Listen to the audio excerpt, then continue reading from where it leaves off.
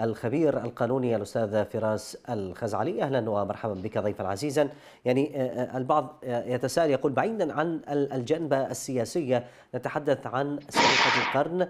هنالك يعني الجنبة القانونية البعض يقول دائما ما تكون هنالك حلقة مفقودة في قضايا الفساد. هل هذا يعني وجود خلل بالقوانين المتبعة أم بالتنفيذ مثلا؟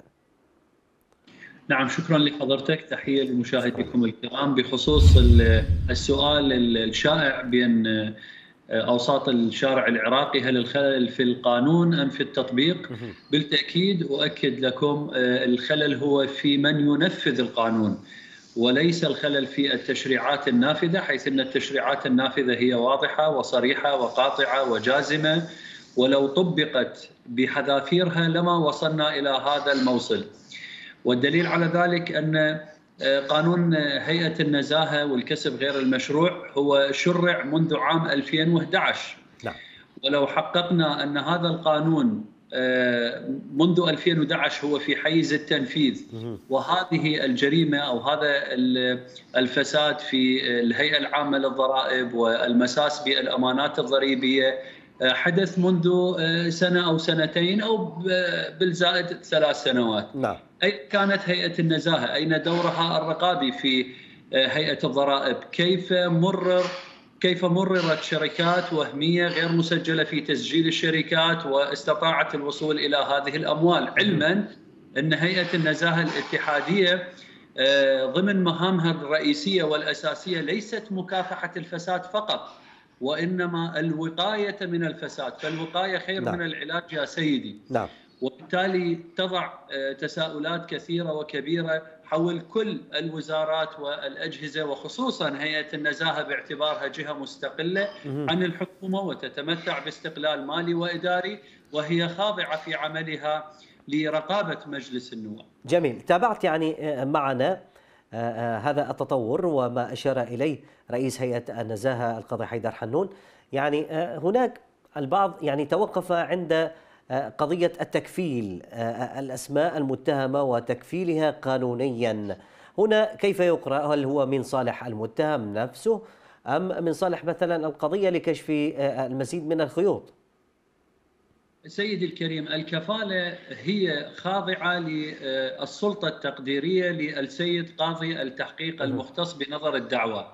الكفالة هي ليست قرار بالتبرئة وليست قرار بالإدانة. نعم. طالما أن قاضي التحقيق يرى أن المكفل هو ذو عنوان معلوم ولا يخشى من هروبه بالتالي تقرر المحكمة إطلاق سراحه بكفالة ضامنة وبالتالي أنه يعفيه فقط من التوقيف طالما أن القضية تحت التحقيق وصولا إلى إحالتها للمحكمة المختصة سواء كانت محكمة الجنح أو محكمة الجنايات لكن في هذه الحالة بالتأكيد ستكون الإحالة لمحكمة جنايات الفساد المتخصصة بمكافحة الفساد.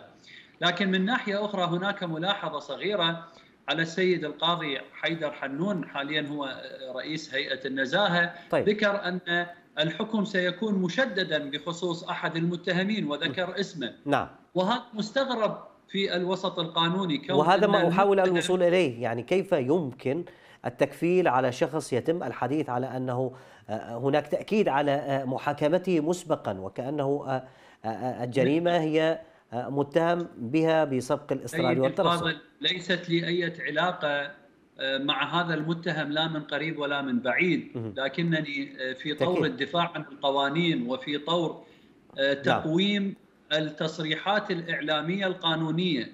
أستغرب صدور تصريح ضد متهم يفترض أنه وفق القانون هو بريء حتى تثبت إدانته ولا تثبت الإدانة من رئيس هيئة النزاهة وإنما يجب أن تكون الإدانة صادرة من محكمة متخصصة ويكتسب القرار الصادر منها الدرجة القطعية وفق القانون كي يقال عنه أنه مدان أه. وبالتالي صدور هذه التصريحات الإعلامية بحق متهم هو شبه مصادرة للأحكام القضائية وقد يشكل ضغطا على المحكمة أمام الشارع العراقي وخصوصا أن واحدة من أهم مهام هيئة النزاهة هو تعزيز الثقة بين الشعب العراقي وبين الحكومة العراقية في إجراءاتها في مكافحة الفساد وفي إجراءاتها في حفظ المال العام.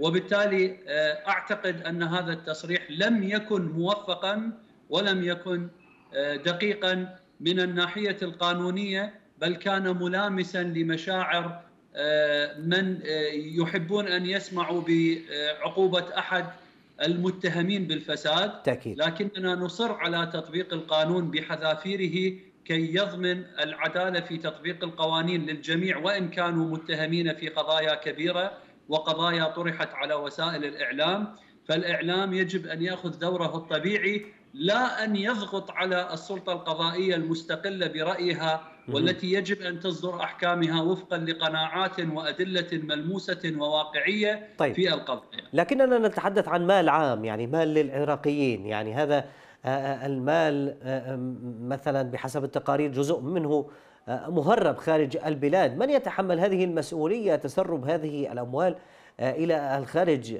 ونحن لدينا متهمين يعني تم إلقاء القبض عليهم، لدينا متهمين آخرين يعني أيضا الحديث يدور على أنه لم يتم استرداد الأموال منهم كاملا، كيف يعني يفهم هذا الموضوع؟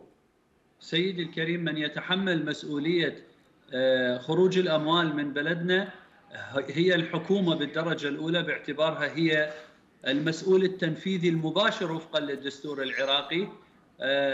وثانيا تتحملها هيئة النزاهة باعتبارها هي المسؤولة عن استرداد الأموال والمتهمين ولديها دائرة متخصصة في هيئة النزاهة تدار بواسطة مدير عام وتخضع لرئيس هيئة النزاهة وهي دائرة الاسترداد. نعم.